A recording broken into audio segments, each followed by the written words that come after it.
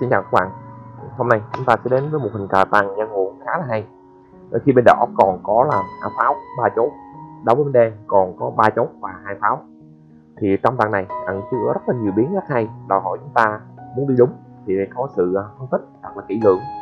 Và sẽ có những pha mình dạng thế quân rất là hay Để tạo nên sắc cục Xin kính mời các bạn cùng à, đón xem. Như thấy đối với hình cờ này à, Bên đỏ được quyền đi tiên Thì sẽ có hai đường chiếu tướng đường thứ nhất đó là à, pháo 2 tháng 3 và đường thứ hai là pháo 2 bình năm. Chẳng hạn trong trường hợp thứ nhất thì à, pháo 2 tháng 3 thiếu tướng. À, thì lúc này à, từ sẽ hạ về sau đó thì lại bình chốt hai bước tiếp tiếp sẽ là chốt 7 bình 6 và sát cục.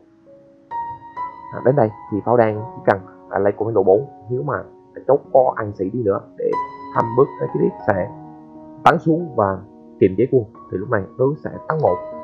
Đến đây mình nếu mà pháo đỏ đi một đòn mà để bắt chết pháo này. Đó là à, pháo số 1 đi chiếu tướng. Nếu pháo này chạy đi thì tất nhiên là sẽ bình qua ăn pháo.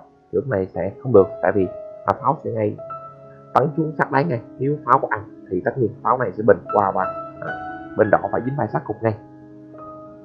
Do vậy ta thấy cách đi mà dùng pháo 2 tháng 3 là không hợp lý. Còn cách đi thứ hai đó là pháo 2 ở bình của lộ 5 chiếu tướng thì tất nhiên pháo này à, bắt buộc phải di chuyển và di chuyển theo đường nằm chẳng hạn như là bình qua lô 2 thì chốt tấn 1 và bước kế tiếp sẽ bình chốt vào và sát cục thì đang không thể đỡ được. Do vậy chỉ còn một đường duy nhất đó là pháo buộc phải bình qua bên ờ, lô 6 Mỹ đỏ lại tiếp tục ở bình chốt vào lô 5 chiếu tướng. Tất nhiên là không thể hạ sĩ về được tại vì hạ, hạ sĩ về thì chốt cái bình và chiếu sát ngay do đó lại phải uh, chống sĩ lên. Thì chốt đỏ lại uh, bình vào lô 6 chiếu tướng. Uh, bắt buộc tướng phải bình qua lô 6 à, tiếp tục đi một nước khá, khá hay đó là chốt năm tấn 1 ăn thẳng của sĩ.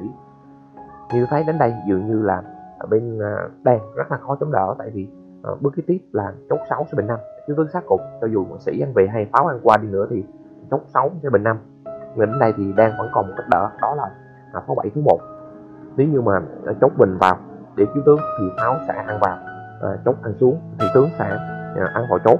Và như thấy bên đang còn lực lượng rất là mạnh ở đây là à, pháo chốt hoàn toàn thì em mà chiến thắng được bên đỏ ta sát lại à, một à, biến nữa cũng là biến thứ ba mà người chơi cộng đỏ cũng thường hay nghĩ đến. Đó là bình chốt trước có nghĩa là bước kế tiếp sẽ bình chốt vào. À, chiếu tướng à, sát cục à, đang bắt buộc phải à, bình pháo qua à, để che mặt tướng. Thì à, pháo đỏ lại bình vào chiếu ta thấy trong à, hai trường hợp à, thứ nhất là, sĩ sĩ 6 tháng 5 và trường hợp thứ hai là sĩ 6 tháng 5 ở các trường hợp thứ nhất đó là sĩ 6 tháng 5 thì lúc này à, cháu sẽ bình chiếu bắt buộc ăn tướng phải ăn ra đó thì lại ăn hẳn tiến sĩ. Thì tôi thấy trong trường hợp này thì tất nhiên ở bên đen sẽ không thể nào mà chống đỡ bước kế tiếp của bên đỏ đó là à, chục tám bình bộ bảy chiếu sát do vậy ở bước trước thì bên đen thay vì sắp sĩ về thì bắt buộc phải là chống sĩ lên. À, đỏ lại tiếp tục à, bình chống chiếu. Ở đây thì bên đen sẽ có hai đường hướng để đi. Đường thứ nhất là tướng năm bình 6 và đường thứ hai là tướng năm bình bộ 4 ăn chốt ta xét hợp thứ nhất đó là tướng năm bình của lô 6 thì lúc này pháo sẽ bình của lô 4 trước tướng bắt buộc pháo phải vào đỡ.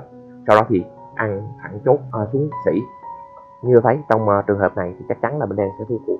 Không gì có thể mà đỡ được nước tiếp theo đó là chốt sắc bình lô 5 à, do vậy à, đang không thể nghĩ đến phương án là ừ, tướng năm bình của lô 6 mà lúc này phải là tướng năm bình 4 lúc này thì đã chốt lại ăn thẳng xuống sĩ hầm bước kế tiếp sẽ bình sát cục thì đang vẫn còn được đỡ. Đó là à, pháo số 1 nếu mà chốt có bình qua dưới tướng thì lúc này pháo sang qua có ăn. Và pháo dưới tướng thì tướng sẽ bình vào. Và như thấy trong tình huống này thì bên đỏ chắc chắn là sẽ thua với lực lượng bên đang còn à, pháo và chốt như thế này. Do vậy ta thấy ở các trường hợp mà mình sát mà thì bên đỏ ừ, thông thường mà nghĩ đến đều là không khả thi. À, vậy đến đây có cách nào cho quân đỏ có thể chiến thắng cuộc cờ này hay không? Nước đi hay nhất mà cũng là nước đi để giúp đỏ chiến thắng đó là đi. Chốt 7 phần 6 quyết định à, bỏ phế chốc này ngay từ đầu. Đến đây thì chắc chắn là à, đang phải ăn qua thôi. Tiếp tục đỏ lại à, chốt 8 bình 7 cứu tướng tướng lại phải bình vào lô 5 sau đó thì dùng à, pháo lô 2 bình qua chiếu tướng. À, bắt buộc pháo phải bình qua lô 6 tiếp tục à, bình chốt vào chiếu tướng. À, C6 bắt buộc phải à, bắn 5 rồi sau đó thì bù đi một nước để kết liễu cuộc chơi. Đó là đến năm bình của lô 8 như tôi thấy đến đây đàn đã thấy trước được sát cục, nhưng không thể nào hóa giải được. Tại vì nếu mà bình tướng ra thì phát tấn chiếu, bắt buộc sĩ pha về. Và sau đó thì chốt ăn vào và cũng là sát cục.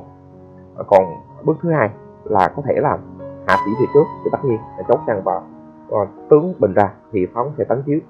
Do vậy, đến đây dù đang có biết trước được những sát cục nhưng mà không thể nào mà tránh được đành phải là buông bạc nhận thua.